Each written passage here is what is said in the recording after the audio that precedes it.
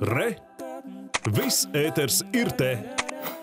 Valsts sociālās aprūpes centra Rīga kapseļu ielas filiālē šodien aprit simt gadu, un pirms vairākiem gadiem doto solījumu panākt, lai katrs Latvijas bērns dzīvo ģimenē, politiķiem un amatpersonām aizvien nav izdevies izpildīt.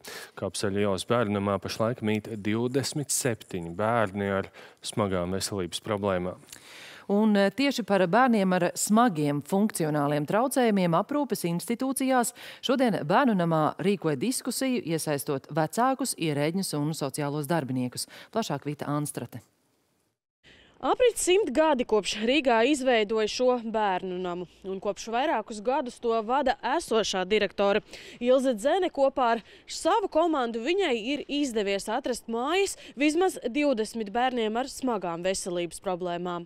Pirms trim ar pus gadiem šo bērnu namu pameta tagad jau deviņus gadus vecā lāsma. Viņu savā ģimenē pieņēma Jānis un Maija Albāti un viņu pieci dēli. Kā tev patīk?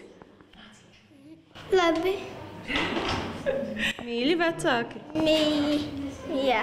Ā, pamanījām tieši, man liekas, ka pirmais tas vai kaut kāds bija kapseļu ielas, tas atvērto durvju diena, kad mēs kā jaunis ap tauģu ģimeni atbraucām uz to pasākumu. lielām Un, acīm.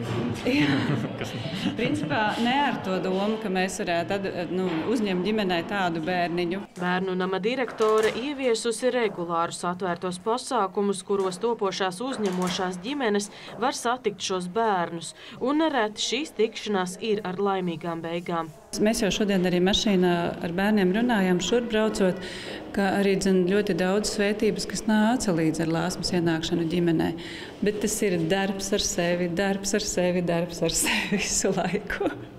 viss nav tik gludi un viss nav tik uh, rožaini, bet uh, tas prasa daudz darba, daudz enerģijas, daudz ieguldīšanās, daudz, daudz sarunu, daudz, daudz uh, ieiešanas sevi un kopā būšana bērniem un viss šīs izrunāšanās. Tomēr vēl 27 bērniem un vienam 18-gadīgam puisim, kuram meklē citu dzīves vietu, kapseļu ielas bērnu nams ir mājas, kur darbinieki ir vecāku vietā, un par to ir kauns, norāda iestādes direktore. Jā, kapsuļu bērnams ir vecākais valsts bērnams, un uh, decembris ir tāds simtgadus, uh, simtgadus posms šajā, ša, šim bērnamam. Bet um, es teiktu, ka mūsu kā valstī, ka mūsu kā sabiedrībai īsti prieka nav. Mēs neesam panākuši tas, kas mums būtu bijis jāpanāk jau vairākus gadus iepriekš, bet joprojām šajās institūcijās ir bērni. Ir Latvijā bērnami, Kapseļu ielas bērnu namu dibināja vien četrus gadus pēc valsts dibināšanas, un tolaik pēc kara bija pamatots iemesls to darīt.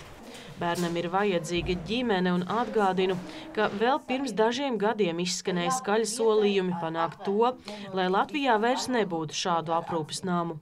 Jā, tas bija politisks solījums un ļoti labi, ka tāds bija, jo tas deva labu ievirzi un fokusu uz to, kur mēs kā valsts ejam.